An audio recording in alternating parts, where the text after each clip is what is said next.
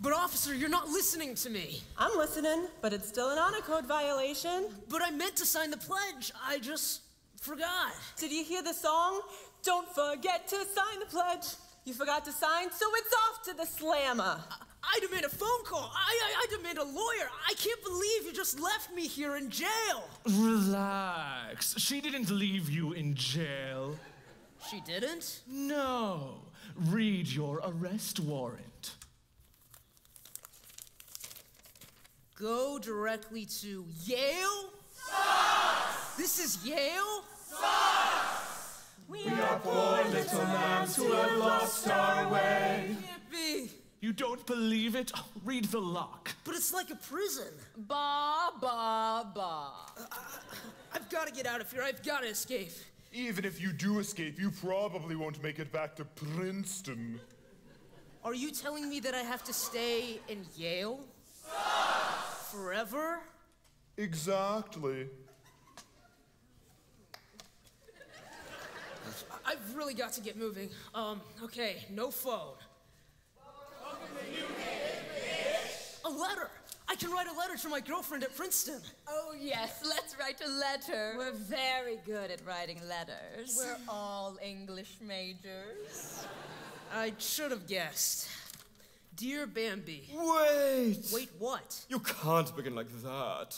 This girl is someone special, right? Right. Well, dear Bambi is simply mired in the banal. You need something more moving. Words whose power grips the reader from the very beginning. My beloved Bambi! Most beloved Bambi. Most longed for Bambi. Yes, yes, write that down, that's good. Most longed for Bambi. I'm in trouble. No, no, no. You're not just in trouble.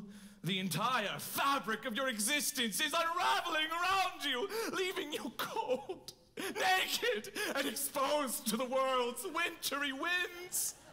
The time's terrible turmoil. It's atrocious atrocities. Redundancy!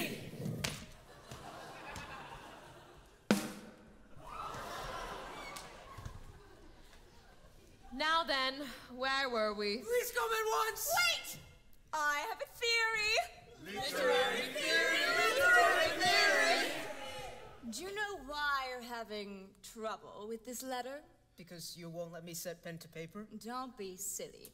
Your communication is hindered not by your inability to express your desires, but by the inability of words themselves to express your desires.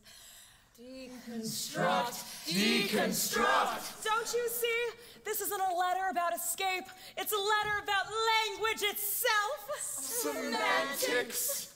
Why even try to communicate? Your words inevitably come back to you in a self-reflexive backlash that stuns you, not with its power, but with its impotence.